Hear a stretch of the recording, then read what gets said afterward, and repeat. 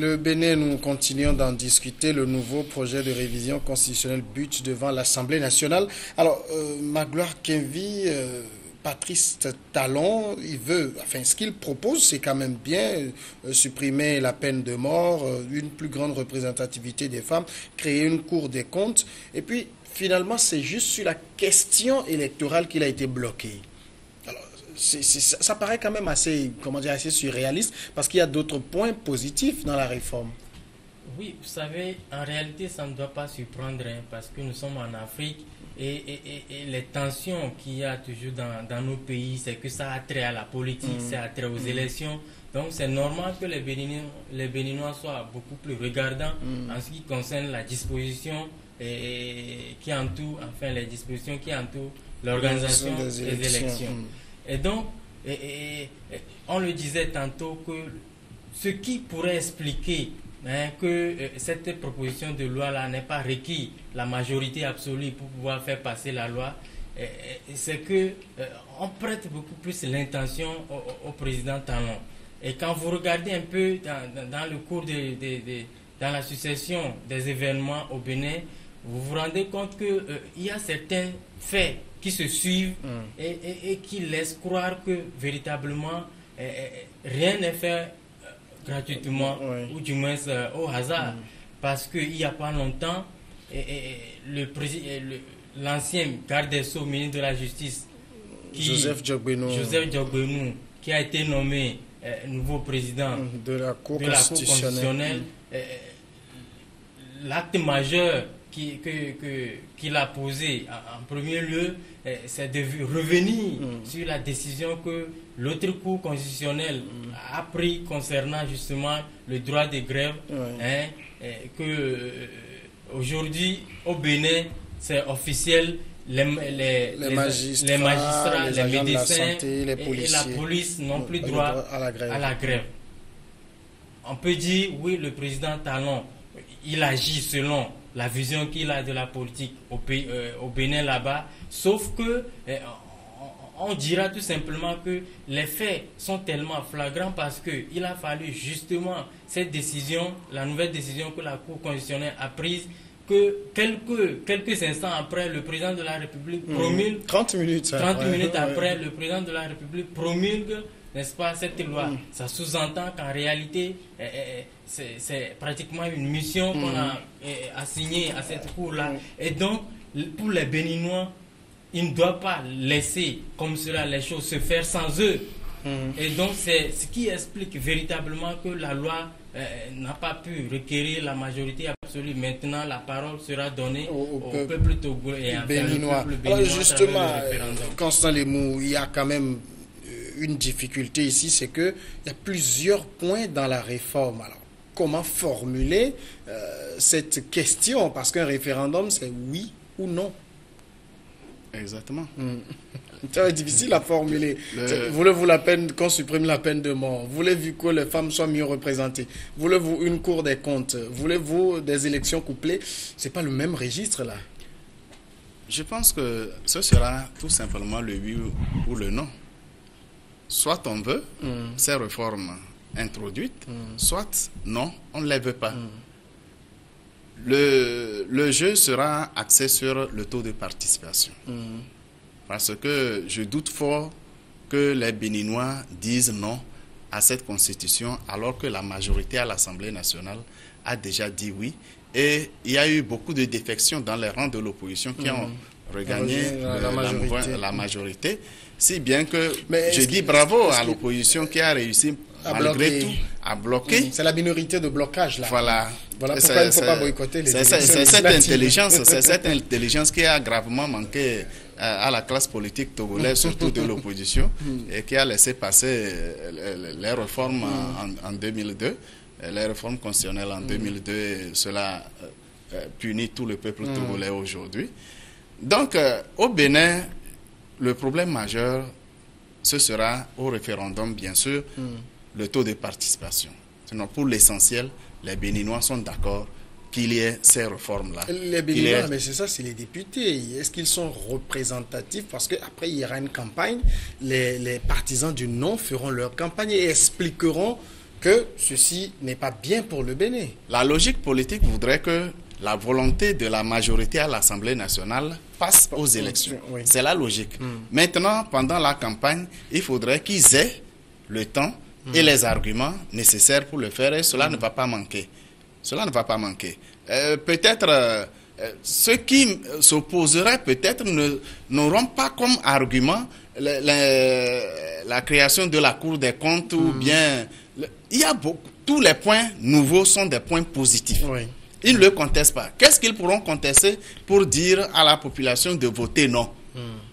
Est-ce que euh, c'est tout simplement la haine ou la jalousie des hommes politiques les uns contre les autres Est-ce que ce sont les intentions qu'on prête euh, à Patrice Talon de, de voir derrière cette modification constitutionnelle une intention de, de briguer un second mandat Est-ce que ce sera l'argument valable pour faire bloquer euh, ces, points positifs qui améliorent d'ailleurs la constitution et le cadre de vie des, populations mm. béninoises. Je pense que euh, la parole de Patrice Talon, à savoir il veut briguer un seul mandat, n'est pas au-dessus de la constitution. Mm. Aujourd'hui, s'il a les, forces nécessaires pour mettre en œuvre son programme qu'il a établi en cinq ans, je ne vois pas pourquoi. Il, il sait pourquoi il s'est donné un seul mandat et peut-être, comme c'est le terrain qui guide le combattant, s'il trouve la nécessité de tenter une seconde chance, eh bien, ce n'est pas contre la constitution béninoise. Mmh. Alors, euh, comment, comment convaincre justement le peuple béninois de voter cette constitution-là? Oui, cela repose également la question de la communication mmh. autour de cette proposition de loi. Nous l'avons dit en tout début d'émission. Est-ce que l'exécutif béninois a eu le temps nécessaire de communiquer sur mmh. l'importance même de cette proposition de loi? Parce que quand nous prenons les quatre points, en réalité, euh, euh, je ne vois aucun Béninois s'opposer à la création de la Cour des comptes. Je ne vois eh, eh, aucun Béninois eh, s'opposer, n'est-ce mmh. pas? À la suppression, de, la peine de, mort, ou le relèvement du quota des femmes. Sauf que là, particulièrement à mon niveau, euh, Est-ce qu'on a besoin de l'inscrire dans la Constitution? Voilà. Hmm. C'est là où moi-même je me pose des questions. Et en réalité, l'idée que moi je me fais de ce point particulièrement, c'est que vouloir forcément faire la promotion du genre, hmm. parce que justement, il faut équilibrer un peu les dons, moi ça me pose personnellement problème. Et là, je, me rappelle encore qu'il y a une fois dans ce pays, Maître Isabelle Amegaville avait dit qu'elle ne s'inscrit pas dans la dynamique de faire coûte et coûte la promotion du genre, mm. parce que il faut que la personne s'engage mm. elle-même. Parce qu'on veut faire d'une femme un député qu'on doit forcément punir un, un, homme si engagé voilà toute la question qui se pose. Donc, sur ce plan, personnellement, euh, je trouve des insuffisances. Si une femme s'engage, parce que la politique, il faut s'engager, il faut savoir le faire. C'est mieux que de vouloir peut-être forcer une autre femme qui n'a peut-être pas une ambition politique de vivre parce que justement on veut équilibrer la donne politique. Mais là, j'en passe. Et, l'autre côté, c'est que euh, euh, en réalité, sur la, la question du couplage des élections, L'autre aspect qui, est développé là, c'est qu'on veut équilibrer un peu les mandats mmh. électifs. Mmh.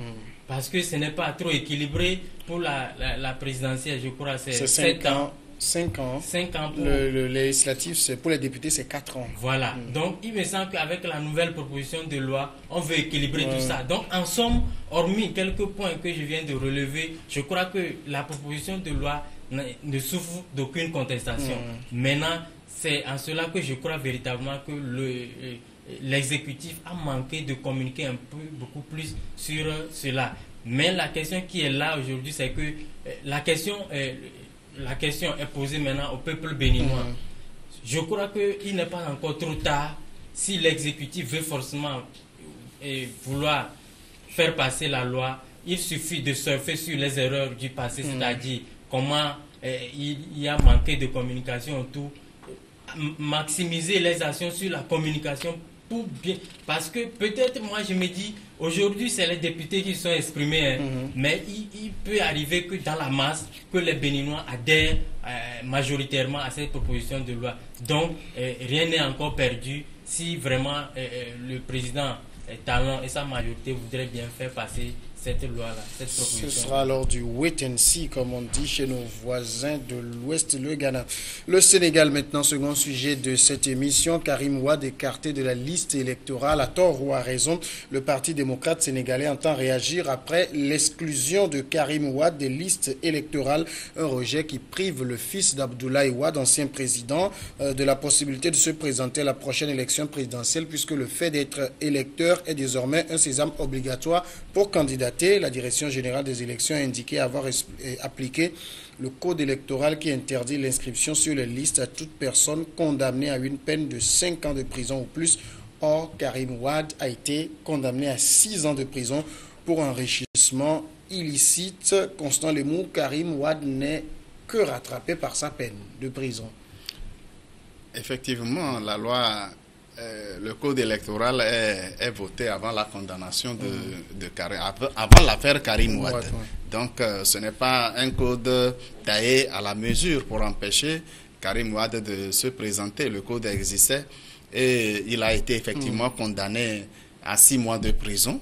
Euh, dans ce cas, c'est clair qu'il ne peut pas, mm. il ne peut pas être électeur. Et quand on n'est pas électeur, on, c'est ipso, facto qu'on ne peut pas être euh, éligible. Euh, ça, ce n'est pas une loi taillée sur mesure. Hmm. Peut-être c'est sur l'affaire elle-même qu'il faut trouver les hmm. raisons suffisantes pour voir si euh, cette condamnation valait la peine ou non. Plusieurs fois, les avocats défenseurs ont toujours montré que c'était un procès politique hmm. et effectivement, euh, Abdoulaye Ouad préparait son fils Karim Ouad pour lui succéder en lui donnant de, de, grandes ouvertures, de grandes opportunités mm. d'amasser de l'argent. Il était le euh, ministre du ciel et de la terre. Exactement, donc euh, il avait toutes les facilités mm. pour amasser de l'argent. Et l'actuel président Macky Sall était membre du gouvernement lorsque Karim Ouad était euh, ministre. Mm. Donc, euh, ils se connaissent parfaitement bien et Macky Sall sait très bien comment euh, Karim Ouad est, en train était en train d'être mm. préparé pour succéder à son père. Donc, jusque-là, sur le fond, l'affaire judiciaire peut être remise en cause si mm. les avocats de Karim Ouad en ont les moyens, mais au niveau politique, au niveau de l'inscription sur la liste électorale, je pense que ce n'est que la loi qui est appliquée. C'est la loi, euh, Magloire? Oui, euh, je, ne suis pas juriste, mais je crois que sur le fait, c'est la loi qui s'applique hmm. et on, ne peut que le constater. Mais en réalité, quand vous analysez un peu la situation, vous vous rendez compte que euh, euh Monsieur Lemou, je me réjouis qu'il a effleuré, le président Macky Sall, hmm. c'est quelqu'un qui a longtemps travaillé avec euh, euh, le PDS, le, Parti démocratique Voilà, le président du, enfin, de l'ancien président Abdoulaye Et tout le monde a su comment leur collaboration a, pris fin. Hmm. Il a fallu qu'il ose un peu et qu'il se démarque euh, hmm. au dernier moment et pour qu'il se retrouve aujourd'hui dans le fauteuil présidentiel. Donc, au-delà de tout, nous sommes en politique et on ne peut pas dire que cette affaire, c'est purement une affaire juridique. Mm. Il y a également des considérations politiques, mais habillées de façon intelligente et, avec des éléments de preuve qu'on peut justifier sur le plan juridique, parce que quand vous prenez Karim Ouad, il a été comment, condamné à 6 ans, de prison. Mm. Il a fait juste la moitié, le président le gracie. Mm. Il le gracie et aujourd'hui il est rattrapé par et, cette peine-là de 6 ans, hmm. alors qu'en réalité, il n'avait pas fait, il n'avait pas terminé les... Mais, la, grâce n'efface pas la peine. Non, je, reconnais, hmm. je reconnais. Donc c'est en cela que moi, je veux croire que... Euh, au-delà de tout, il y a, y a un jeu politique, qui se joue, mais on a tellement vous savez, quand vous êtes au pouvoir, vous avez tout à votre disposition, hmm. même peut-être la machine du pouvoir à profit pour pouvoir faire sa politique. Et donc, tout est dit aujourd'hui, on ne peut pas voir directement l'implication du président Macky Sall parce qu'il a gracié, on dira que oui, en tant que président, il pouvait faire les six ans, mais il a pris ses responsabilités en, graciant Macky Sall.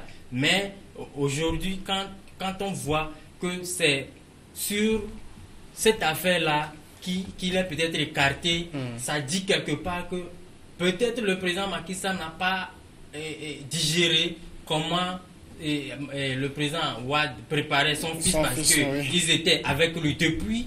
Mais du coup, du jour au lendemain, le vieux préparait son fils avec tous les moyens qui étaient mis à sa mhm. disposition. Il était le mine de tout et de rien. vous allez voir que l'exécutif et, sénégalais aujourd'hui ont dit oui, il a été gracié, certes, mais le procès est toujours là. Quand il rentre au pays, c'est qu'il doit payer l'amende de, 200 millions mm. d'euros. Ça voudra dire que c'est beaucoup d'argent. et c'est une manière de dire que oui, c'est peut-être on n'a pas digéré comment le vieux préparait sa succession. Et donc, quand il finira par payer cette amende-là, eh bien, il se retrouvera un citoyen ordinaire comme Est-ce que ce n'était pas, au départ, Constance, ce n'était pas quand même un peu osé pour le PDS de ne compter que sur Karim Ouad les Sénégalais sont-ils préparés à faire euh, mettre un fils à la place, enfin, même s'il y a une transition, à faire venir Karim Ouad alors que son papa était président aussi? Samuel, vous connaissez comment fonctionnent les partis politiques en Afrique.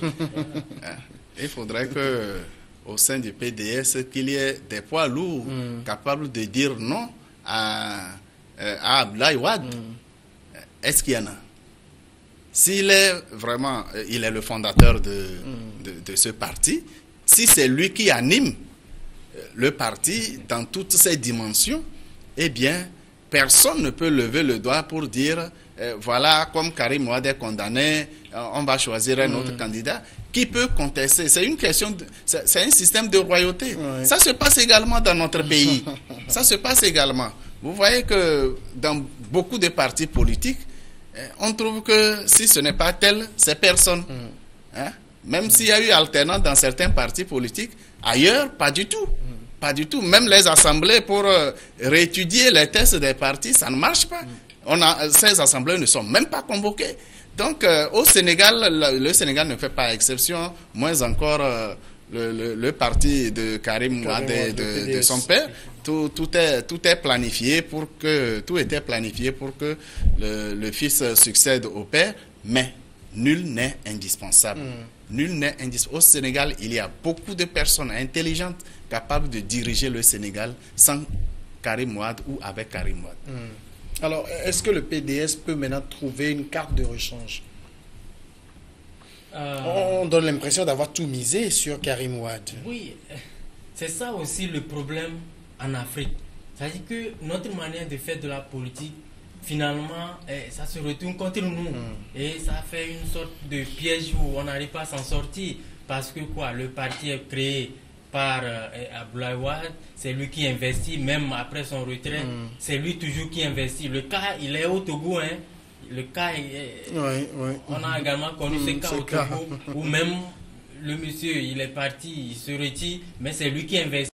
Mm. À un moment donné, il va vouloir reprendre encore. Et à défaut, à défaut qu'Aboulaye revienne au devant de la scène, il veut placer son fils parce qu'il se dit, c'est c'est mon héritage, c'est mon patrimoine. Alors mm. qu'en réalité, quand vous créez un parti politique, vous ne ce n'est pas un héritage familial. Vous le créez pour tous les concitoyens qui ont la même vision que vous. Mm. Et donc, vous pouvez vous en passer à tout moment. Malheureusement, en Afrique, on mise tout. Ce n'est pas seulement la faute au créateur, mais les membres aussi. On remet tout sur les épaules du président. Donc, il en fait ce qu'il veut. Et donc, la situation est là aujourd'hui. Le vieux tellement il investit dedans qu'il ne veut pas eh, lâcher prise sur ce niveau-là mm. quant à ce qui concerne sa succession. Et il a fait. Et malheureusement, il n'y a pas une figure aussi emblématique dans le parti pour pouvoir s'opposer véritablement mm. À, la décision du vieux. Aujourd'hui, eh, eh, la question qui est là, c'est que on veut beaucoup plus attaquer la décision à travers deux voies, et porter, enfin faire recours. Et l'autre voie qui est là, c'est qu'il faut engager des discussions avec euh, euh, le, euh, l'exécutif, si je peux mm. m'exprimer ainsi. Mais là où le problème se pose, c'est que quand vous écoutez un peu les gens de l'UTPS, enfin l'UP, le, le, PDS, le PDS, il se dit que le pont avec le, président Macky Sall est, coupé, le pont du mm, dialogue. Mm. Moi, je dis c'est ahurissant. Mm. C'est-à-dire qu'on doit révolutionner notre manière de faire de la politique en Afrique. L'adversaire politique n'est pas un ennemi. Hein. On peut ne pas avoir la même vision, mais le dialogue permanent, le dialogue doit être permanent, entre les acteurs. C'est ce qui pose problème. Et ici, chez nous, ça pose problème. Hmm. Dès que vous êtes un peu eh, eh, de même vision que l'adversaire politique, c'est que si vous n'êtes pas acheté, c'est que vous roulez pour hmm. lui, mais hmm. indirectement. Et c'est ça qui se retourne finalement contre tous. Donc je crois qu'ils doivent essayer, parce que avoir clair dans ces situations, c'est un jeu politique, mais il faut aller aussi de manière politique pour pouvoir désamorcer la bombe là. Constant, le, PDS présente quand même Macky Sall, enfin que Karim Ouad, euh, comme ce, ce, grand candidat là qui peut faire gagner le parti, mais il n'a pas l'aura de son père. En fait, euh, Karim Ouad a voulu se faire euh, une personnalité, sa propre personnalité, un peu différent de, de son père. Hmm. C'est vrai, ça ne pouvait être autrement. Hmm. Parce que là, le père a sa vision du pays. À un moment donné, il appartient à une génération. Hmm, Karim Ouad n'est pas de la génération de son, père. Son père a plus de 80 C'est bien normal qu'il y ait une divergence de vues concernant la politique hmm. du pays. Et donc, euh, ce n'est pas aussi évident que le père s'oppose catégoriquement à la candidature ou à la, au visée de, de Karim Ouad. Non. Mais c'est une, euh, c'est tout simplement une différence, euh, une légère différence de vision hmm. des choses. Et le père ne peut pas se constituer en avocat du fils et penser que le père va s'opposer à la mm. candidature euh, du fils. Ce n'est pas possible. Mais il peut arriver que sur certaines questions précises, les visions soient divergentes. D'accord. On va maintenant marquer la pause pour suivre le journal et nous allons revenir pour la seconde partie.